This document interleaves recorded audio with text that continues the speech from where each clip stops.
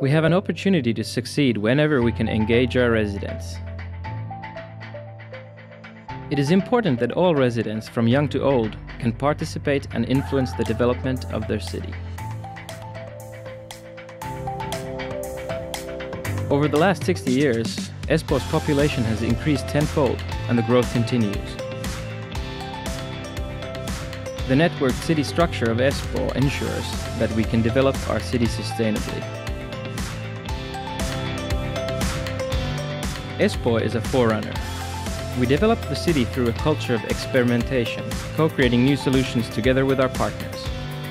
For example, in digitalization and robotics, Aalto University and local startups are great partners in this work. City as a Service is a new set of co-creation tools we use when responding to the service needs in the growing city. Our residents and customers are at the center of this co-creation model. Above all, good services must ensure a smooth daily life for the residents. We want to encourage residents to take care of themselves, their loved ones, and the environment.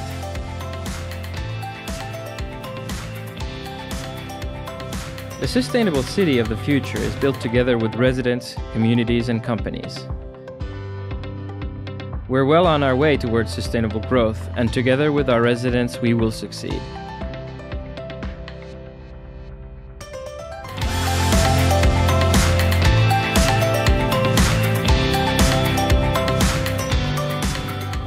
Now and in the future, Espoo is the most sustainable city in Europe.